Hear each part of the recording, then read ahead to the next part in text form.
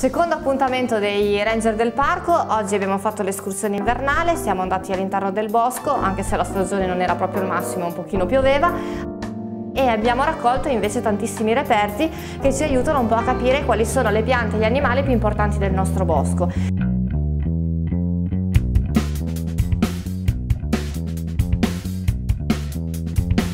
Intanto la stagione non è il massimo, piove ed è la tipica proprio stagione di questo, di questo periodo, però intanto iniziate a guardare un po' che cosa è cambiato. Non ci sono praticamente più foglie.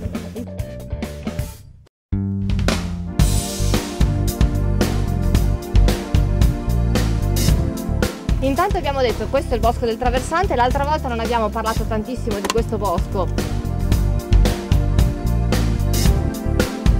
Oggi questi boschi ormai non ci sono più e da noi in più questo bosco rischierebbe di scomparire per un motivo. Se l'uomo non mantenesse questi specchi d'acqua sempre attivi, quindi pulisse dai detriti, li, li mantenesse sempre puliti, poco alla volta si interrerebbero.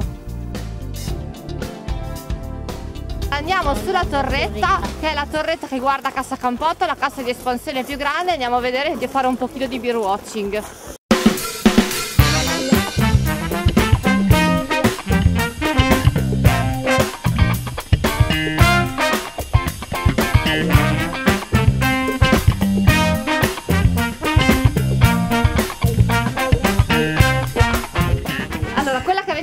Di fronte, la cassa di espansione più grande, una delle nostre zone umide più grandi è questa ed è Cassa Campotto se vedete nella nostra zona l'abbiamo già colorati l'altra volta ci sono tre zone umide e sono tre casse di espansione. Abbiamo detto che qua ci finisce l'acqua nei momenti di piena. Quando il reno è troppo alto per ricevere l'acqua l'acqua dei canali finisce dentro le casse di espansione. Quindi abbiamo detto sono zone create dall'uomo ce ne sono tre. Questa è la più grande abbiamo detto e se guardate oltre a quegli argini laggiù dove ci sono gli alberi dall'altra parte c'è l'altra che è questa più piccolina. Get up, get up, get up,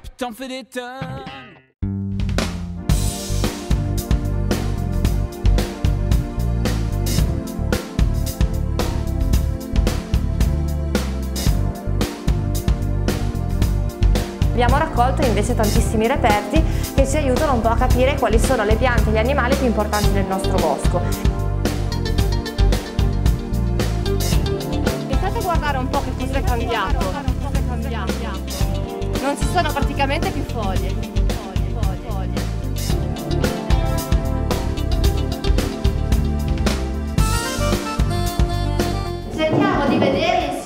Cosa abbiamo recuperato, ok?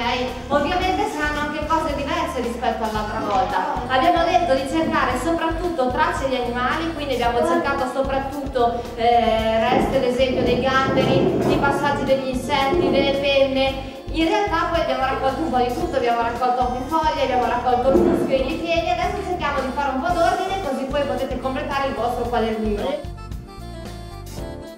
Abbiamo visto le differenze del bosco eh, in inverno rispetto all'autunno dell'altra volta, non ci sono più praticamente foglie sugli alberi e abbiamo raccolto invece tantissimi reperti che ci aiutano un po' a capire quali sono le piante e gli animali più importanti del nostro bosco. Questi reperti adesso li stiamo catalogando, dopodiché col tempo i ragazzi potranno eh, classificarli e metterli all'interno di sacchetti che in questo modo costruiranno il loro piccolo archivio della natura.